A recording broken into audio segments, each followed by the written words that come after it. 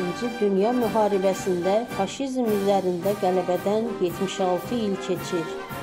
Azərbaycanda hər il 9 may faşizm üzərində qələbə günü qeyd olunur. İkinci Dünya müharibəsi illərində Azərbaycan xalqı həm cəbhə bölgələrində, həm də arxa cəbhədə böyük qəhrəmanlıq və igidlik nümunələri göstərir. Qısa müddətdə respublikada 87 qırıcı təyyarə batalyonu və 1124 özünü müdafiə dəstələri təşkil olunub. 1941-1945-ci illərdə 600 mindən çox azərbaycanlı oğlan və qızlar cəbhəyə yollanıb.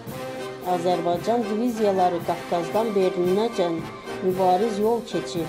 130-a yaxın həmyerlimiz Sovet İttifaqı qəhrəmanı adına layiq görülür. 30 nəfəri şərəf ordeni ilə tərtib olunub. 170 min Azərbaycan əskər və zabiti SSR-nin müxtəlif orden və medalları ilə tərtib edilib. Qətiyyətlə demək olar ki, Bakı nefti faşizm üzərində qələbə qazanılmasında əsas amillərdən biri oldu. Bunu demək kifayətdir ki, hər 5 təyyarənin, hər 5 tankın, hər 5 avtomobilin 4-ü Bakı benzini ilə işləyirdi. İkinci Dünya müharibəsi Azərbaycan xalqının fədakar, qəhrəman, cəsarətli olmasını bir daha sübut etdi. İkinci Dünya müharibəsində şərəfli döyüş yolu keçmiş Azərbaycan övladlarının tarixi şücaətləri yaddaşlardan silinmir.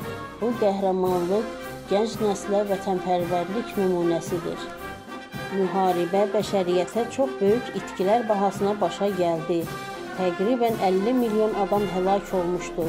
Milyonlarla insan yaralanmış, şikəst olmuş, itkin düşmüş, əsir düşərgələrində işgəncə və zülmlərə məruz qalmışdılar. Minlərlə şəhər, kənd, qəsəbə xarabazarlığa çevrilmişdir. Bir daha belə dəhşətli müharibəyə yol verməmək üçün bütün dünya öz qüvvələrini səfərbər etmişdir.